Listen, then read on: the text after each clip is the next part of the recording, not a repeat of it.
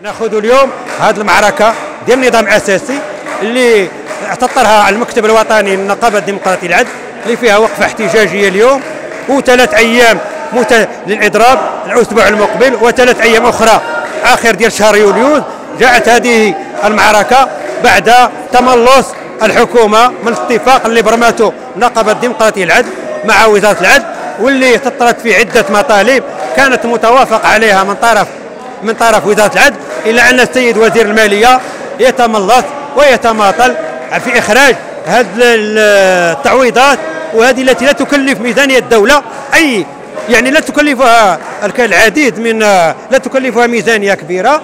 آه، في حين أننا كنشوفوا الآن أن آه، النظام الأساسي ديال وزارة المالية خرج هو وكنسمعوا بأن فيه تحفيزات مهمة للموظفين المالية. على مع العكس أن القطاع ديال وزارة العدل هو قطاع منتج قطاع اللي كيدر يدر يعني أموال طائلة على الدولة.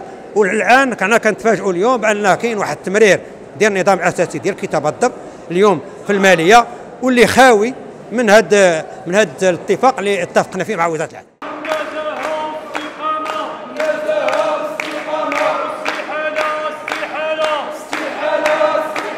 تنزيلا لقرار المكتب الوطني للنقابة الديمقراطية العدل القاضي بتنظيم وقفات احتجاجية من الساعة التاسعة إلى الساعة الحادية عشر وإضرابين إنذاريين لمدة ثلاث أيام. تأتي هذه الخطوه النضالية بمثابة إعلان الشوط الثاني من الحركة الاحتجاجية والبرنامج النضالي للنقابة الديمقراطية العدل.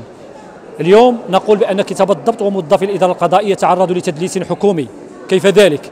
كيف يعقل أن توقع معنا وزارة العدل اتفاقا متوافق بشانه بخصوص النظام الأساسي والمفروض أن التضامن الحكومي يقضي بأن تلتزم الحكومة بالتكلفة المالية لهذا النظام الأساسي. اليوم الحكومة تتأكد تتلكأ وتتراجع ولا تريد تحفيز وتحسين مهنة كتاب الضبط وموظفي الإدارة القضائية. اليوم نقول يجب تخدي يجب الاشتغال بمنطق المؤسسات. وقع اتفاق مع وزارة العدل.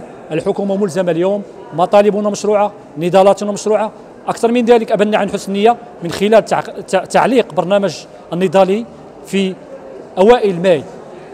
كتعبير منا عن حسن النية وكتعبير منا وإعطاء فسحه للحكومه من أجل إيجاد الحلول لكن اليوم نتفاجأ بإدراج النظام الأساسي في مشروع المجلس الحكومي كنوع من الهروب إلى الامام نقول بأننا اليوم كحركة احتجاجية مطالبنا مشروعه ولا زلنا وسنبقى مستمرين إلا أن تتحقق المطالب المتفق بشأنها وعلى الحكومة أن تتحمل التزاماتها باعتبار التضامن الحكومي هو مبدأ دستوري يؤثر أنشطة الحكومة. وزارة العدل وقع اتفاق الحكومة تنفذ وتلتزم.